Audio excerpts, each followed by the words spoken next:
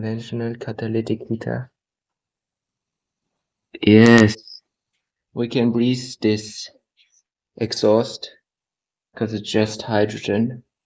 Yeah, it's a nice heat. It would cost you nothing if you make your hydrogen yourself. Hey guys, I'm sorry for the cliffhanger last week, but it's always kind of difficult to work with YouTube to engage new viewers to subscribe and at the same time stay at a scientific level. So I hope you learned something about the catalytic combustion. And today we have a great video where we dive very deep into hydrogen heat. We look at hydrogen boilers, which have been funded research projects a long time ago. And we will really get a precise look, uh, camera view. First, we are going to talk about catalytic heaters. Secondly, about direct burners, hydrogen, pure hydrogen burners. And then we we're gonna look at what's going on on the hydrogen market and we're gonna thread the question which is kind of in my mind always what is the consumer and producer dilemma of the hydrogen economy and why is that so?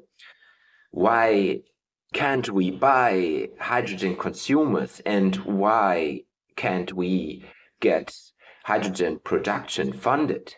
So we're going to start with the catalytic heater and enjoy the footage. We will follow the hydrogen supply line here. This is the hydrogen line, which goes through a pressure regulator, a sensor with a feedback, I guess, and then via this quick connector to a hydrogen boiler. This boiler is to heat your house It has a huge power, over 20 kilowatt. This is a flow regulator. Uh, if the heat demand is different, for instance, if you need uh, shower water, have higher input. And this is a door to the burning chamber and we see the boilers from 1995. That is almost 30 years ago. At point one, at point eight, you see the fan which blows in the air, and at point 10, you see the automatization. I think this heater is awesome, so I want to buy one. And in uh, 2022, in June exactly, I wrote the manufacturer Buderus an email. He answered me with a, I think, standardized email. For the 100% hydrogen ready, climate neutral heater, research and development and even field tests are already in process.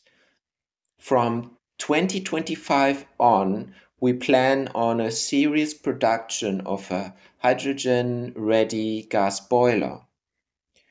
Hydrogen-ready boilers are capable to mix hydrogen with methane by uh, 20% and then there will be a retrofit to convert them to 100% hydrogen. And then they wrote that they care a lot about the climate and they have some economic and ecologic and social responsibility. And that's why they don't sell the hydrogen boiler. And then in Berlin last year, a colleague of mine saw this hydrogen boiler. It's not a catalytic heater, it's a direct uh, burn-in boiler. He said, But you can't buy one. So I said, Why can I not buy one? Because they only sell to energy suppliers. And in Germany, an energy supplier is a formal governmental institution which is local, like province regulated and it uses the overall German grid, for instance, and just makes the the bills and the calculation uh, for the consumers, the works on the piping system on a local uh, level. And here you see the map of all the privileged energy suppliers which are allowed to have a hydrogen boiler since 2019. But also, this is a little bit more recent. We do the same. We follow the hydrogen supply line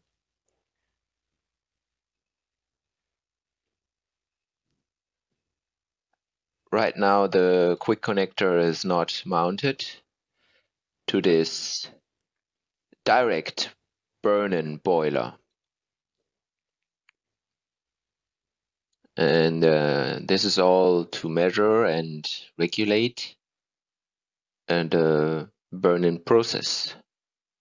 Recently, a Bavarian uh, politician published this uh, video about also a direct hydrogen burner. There are a couple of houses, they have a, like a microgrid which they feed with hydrogen trailers. Big truckloads full of hydrogen go in a microgrid and these hydrogen burners burn it to heat the houses. He says that it will be worth 5000 euro, which is much, much cheaper than uh, a heat pump. But uh, then you go on the website of this manufacturer and you will see, read a lot of blah blah. And yes, they want to save the nature. It is so fantastic. Then they have some stock pictures with some containers where hydrogen is written on, and but you cannot buy one. Still, now 2023, I said, okay, I'm gonna make an experiment because maybe the catalyst is so expensive that the catalytic heater is not worth a try to put it on the market. And I, I found this catalytic heater for propane. And I said, okay, 150 euro, it's worth a try. Let's do it. And it works in such a way that you ignite a pilot flame here, which is blue when, when there's propane branch to it. And this pilot flame will then heat a temperature sensor, which opens then a valve where three nozzles fill this fiberglass net, which is maybe platinized with this platinum catalyst and wrapped in this iron mesh. And propane is heavier, so it will go down and spread over this mesh and then the ambient oxygen will react with the hydrogen in the propane because propane is nothing than a carbon hydrogen mix. The catalyst will start glowing. So that's what you see here in red. And I did this late at night in, in the laboratory, put it upside down because the hydrogen is uh, much lighter. So I want the hydrogen to rise up over the net and I had to switch the pilot flame upside down as well. And uh, here you, you can see the fiberglass and uh, you can see that I reached temperatures above 100 degrees, which is a very nice heat. That's uh, why there's the, of course, this frame, but uh, I took it away. So whatever you see in the coming footage, never do that at home. It's very lumpy. It's very, very dangerous. It is just to have a thought about why is hydrogen economy not working? This is a conventional catalytic heater. I did just run for a couple of seconds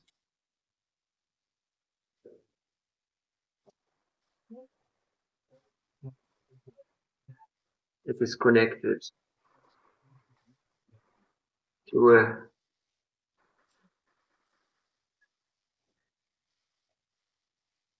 two hundred bar bottle, which is currently at hundred bars, and I will run it less than five liters per minute.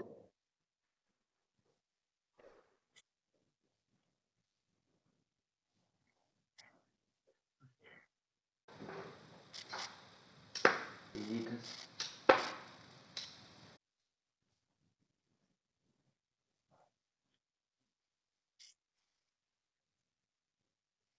I will stop this experiment to get in any danger.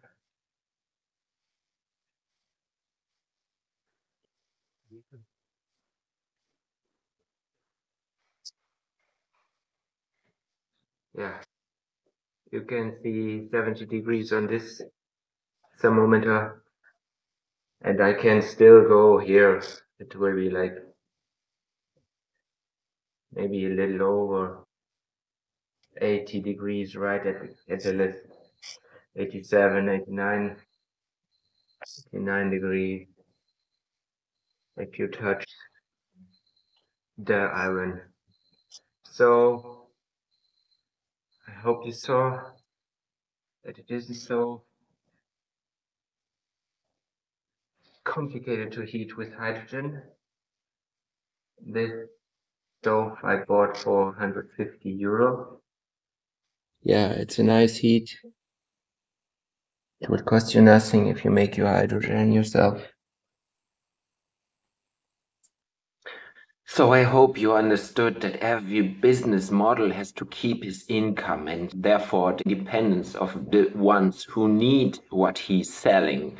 I hope you saw also that the hydrogen appliances are safe for decades. I hope also you saw what it can be fun and economically viable to work with hydrogen and to begin sooner or later to store hydrogen, I think it's fun to be on the safe side, to make your own hydrogen. But if we reduce at the same time our consumption while we have the same standards, I mean, it's just we don't have to waste that much as we did. But anyway, we reduce consumption, we raise production, there will be a sweet spot, and that's where you will be independent. You will be not responsible for any oil leakage on the ocean. You will not be responsible for any gas leakage in the atmosphere. You will not be responsible for wars which will be fought and have been fought for fossil fuels. You will not be responsible for New York, Tokyo, Hamburg to be evacuated because the water rises. So and these business models uh, which will develop are the business models of the future.